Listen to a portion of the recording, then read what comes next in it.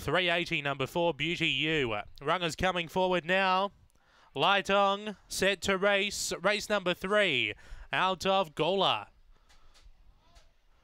On their journey, even line for Ruffy won the start. Betty Star will go to the top by a length over Magic Tail, a length away then Speed Craze. With Liquor License and Beauty U off the back, Magic Tail runs to the lead. Got clear by two over Speed Craze. Through to third, Beauty U. Uh, it's Magic Tail on top. Speed Craze looming up, but Magic Tail gets up to beat Speed Craze. Third, Beauty U. Uh, fourth, Liquor License. And Betty Star went back to last time around 22 and 90.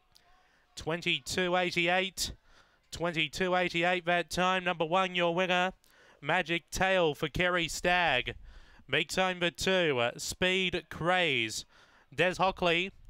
Third for four. Beauty U. Ben Rawlings. Fourth for five. Liquor License. Ben Rawlings. One, two, four, five. 22.88. Run home in 14.18.